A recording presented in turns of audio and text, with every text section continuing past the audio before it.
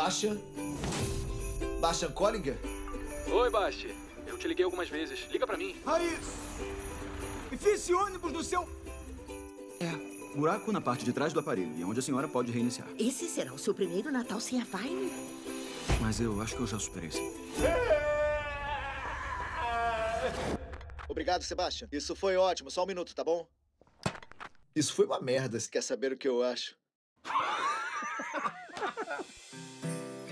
Ah, cara, eu tô ansioso pro Natal.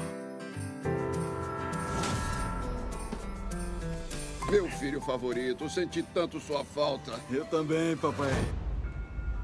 E aí, papai? Quatro minutos de atraso. Já coloquei sua roupa de cama favorita. Quando o Nick vai chegar? Eles vão chegar no meio da tarde. Eles? Como assim? Oi, Oi, Basti. Nicholas e Finney estão juntos. Dá pra se controlar um pouco? Quem roubou a namorada de quem aqui? Mas você nunca ligou de volta o que eu devia fazer? Eu vou embora. Ninguém vai embora! Eu quero que parem com isso, é Natal! Pra que precisa disso? O que, que você acha? Basti, a motosserra vai na mala.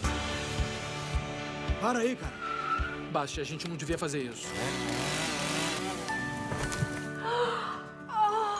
Brigitte vai ter um orgasmo e você está junto, Walter. Mamãe.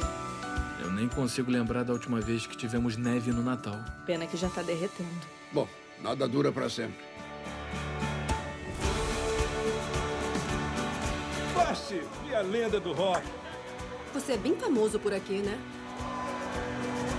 Embaixo desse exterior charmoso e incrivelmente bonito, tem um garotinho assustado e cheio de inseguranças também.